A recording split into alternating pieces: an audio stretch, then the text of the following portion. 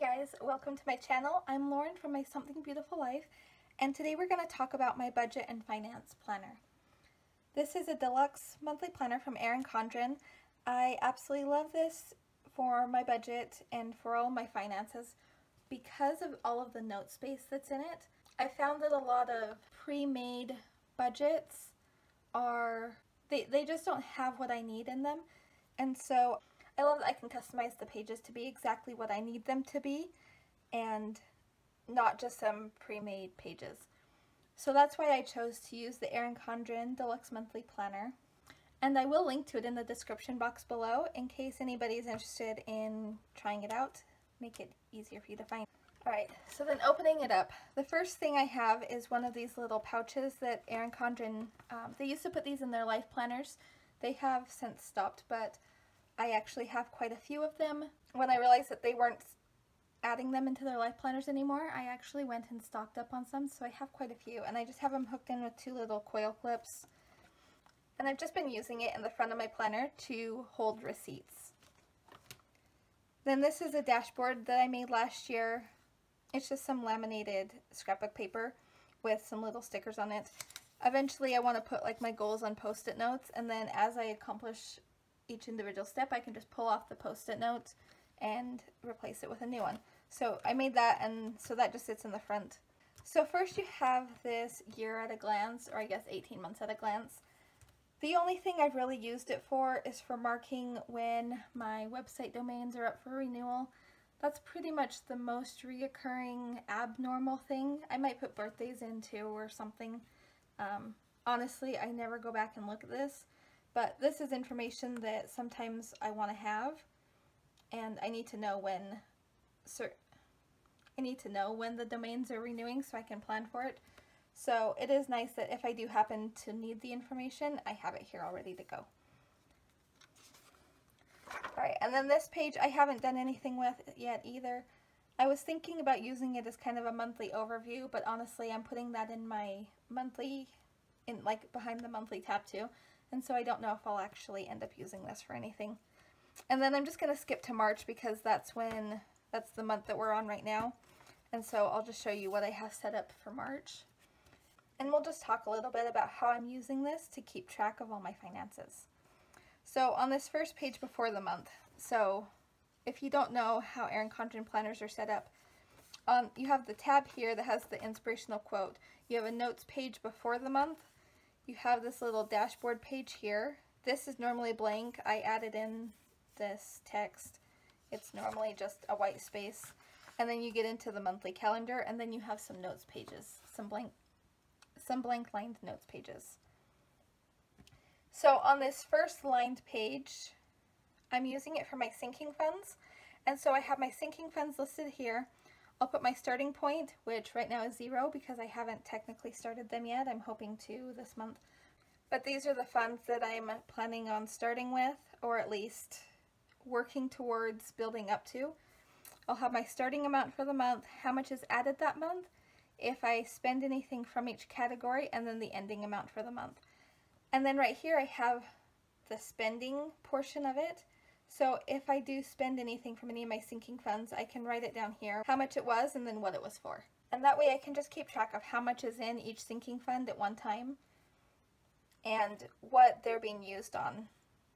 So that way if anything changes where I find I'm using more money than I planned on, then I can always up the amount that I'm adding to it each month so that I know that I have plenty in there in the coming months. So that's my sinking funds page. And then turning it, I did create this little grid thing to put here. And I will get back to this in a minute. It kind of plays into what I have going on in the next few pages. So we'll just talk about this page first and then I'll come back to this. So right here, this spot normally says birthdays on it and I changed it to loan. This is a specific loan that I'm working to pay off. And so I wanted a space to track specifically that debt. And so that's what this is for. My monthly goals will go here. I did leave that the same because I thought that was good. I'm really big on setting goals and so I like that they included a space where you can put goals in. In this box I have anything specific that's going on for this month. So my nephew's birthday is this month and so that's what I included. Um, anything out of the ordinary or just anything I just want to keep a note of. I can put it in this spot so that I can remember it while I'm doing my planning. And then in this last box on the bottom, I just did space for notes. Oftentimes I just need a spot to write down random things that come up, anything that I just want to remember in future months or future days and just know that I'll forget. And so I can use this to write it down so I remember certain things that I've paid or made partial payments or whatever it is that I need. I just have this little note space for that. Alright, and so then for my monthly view, I have these bill pay stickers. I got these from Jen Plans in her Facebook group. Um, I might have changed the colors a little bit. I don't remember for sure. I know her colors are pretty similar. I use them to color code my bills based on when I get paid. So all of the red things are things that I will get paid with this paycheck. All of the teal things are ones that will get paid with this paycheck. And I do have this as a little guide. Um, if I have any specific goals that I'm working on, I do have a purple one too that will go in for that. And then any random income I make throughout the month, I'm going to list it here. I'll probably actually list my regular paychecks here too.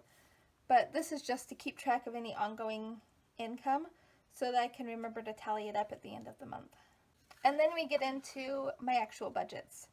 So this concept is based on something that I saw from the Budget Mom. I really, her budgeting method really resonated with me because I've always had to, I like I've always budgeted my money by my paycheck.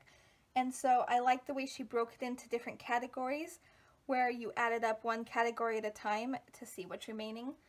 What I've done in the past is that I just had a list of all the bills and I would sit there and put them in order of importance and then just go through them one at a time. I like the breaking it into categories better and this gives me the option to add in my bills in one. I have cash envelopes, sinking funds, extra debt, savings. Oh, and this one at the top is giving. And then my income's up here. And so I really just like breaking it up into categories and then doing the math as I go to make sure that I'm planning for what needs to get paid first. Anything that's left over, then I can account for that in going into extra debt or going into my savings. And so I have my first paycheck completely set up here um, except for finishing up the actual math part. This one, I don't have it all the way set up. I left out the little decorative things because there's a possibility that I might move some of these around. I'm, I've found that this is actually a little bit too much space and then these ones I wanted more lines on. I wanted to change it up, see which areas actually needed more lines and which ones could do with less. So that's actually how I budget per month is doing it one paycheck at a time. And then going back to this page right here. So what my intention was with this is to set it up as almost a projected budget. So if I worked the amount of hours that I want to work, how would I break up the money? And then at the end of the month, I can go through and put in what the actual is and what the difference is. So that way I have a plan for what my goal is but that's not necessarily like how it's actually going to play out. It just gives me something to aim for in regards to my budget.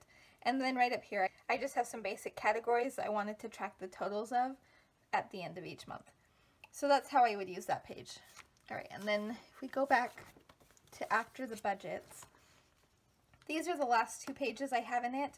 This is the account tracker and then my spending tracker. So this one is actually everything that I spend, everything I buy throughout the month. It's just an ongoing list of my actual purchases. The account tracker is made so I have a running total of what's in my bank account. The balance that I have available still to use. This just helps me to make sure that I'm not overdrafting. And then this is paying attention to more what I'm spending money on. So those are the last two pages that I have in my budget each month. And then after that, it just goes back into the next month. And so if you're interested in setting up your budget in this way, I have decided that I'm going to list all of these budget stickers in my Etsy shop. I wasn't sure if it was something I was planning on doing, but I figured since I was filming this video, um, I will put set in there and see if you guys like it. So I will link to that below in case you're interested. I won't have this exact set in there. I'm going to start with April since we're already a few days into March. I figure most people probably won't need one for March. Um, if you do happen to want it, just send me a message on Etsy and I'll see if I can get that worked out for you. But I will have April listed, and so I will link to that in the description. And then we'll move on to the back of the book. This is the notes section. So it does have this page. I'm not doing anything with that. But then I wanted to show you what pages I have in the back. So with the Deluxe Monthly Planners, they give you the option of adding in extra notes pages. I think you get 40 pages normally, and you have the option to add on up to 80 more. I actually didn't add any pages into this, and this seems to be plenty for me. But just know that if you have more things that you want to track in the back, you do have the option of adding in even more pages. So the first thing I have here is just going to be a list of important dates, what they are, how much I either do spend on them or plan to spend, just anything that needs to be planned for throughout the month. The next page, I have my 2020 goals that will be on this page. I'm going to track my net worth from the beginning of the year and also from the end of the year on here, just so I have a little reference point of how it's changing. The next page is my 2020 income. So at the end of each month, I'll just add up how much I made throughout the month and just do an overall what I made each month. And then this is how much I've, I'm giving to my church through 2020. I have a page for car maintenance here. I have not done any car maintenance yet, but I do have some things that need to be done on my car, and so I want to keep track of the cost of all of those, and so I made a page for that. And then also I'm going to be tracking my credit score. I have four sections here because I get my credit score through a few different places. So there's the three basic credit union, or not credit unions, um, credit agencies, the TransUnion, Experian, and Equifax, I think is the last one. I have the Credit Karma app, so I can check two of them through there. I think it's Equifax and TransUnion, I'm not sure. There's two of them that I can track through Credit Karma. And then also a couple of my credit cards will give me my credit score every month. So I plan on keeping track of how that changes here. The next page is an overall list of my sinking funds. Here I have the sinking funds that I want to do, not necessarily the ones I'm going to be doing at all times, but the ones that are my goals to have at some point. So this will just help me to keep track of all my sinking funds, and if I need to add a new one, then I have a, a basic place where I can go and reference all of them. So here I have my yearly goals, how much I'm paying monthly, and if they have a due date or a specific time when I will need that money, then I did put that here. But honestly, most of them are just going to be ongoing funds that I can just use as needed, and the money will just build up throughout the year. So I have two pages for that. This year, one of the things I want to do is build my emergency fund. So I have a goal of $1,000. I did a little tracker here that I can color in as I save money. And then I can keep track of the actual, I guess, deposits in these columns. I also want to start saving for my house. My first goal is $200. So again, I'm going to start that here. So these are my two main saving savings goals for 2020. So that's what I'm tracking on these two pages. All right, this next page we get into my credit cards. So this is for my Discover card.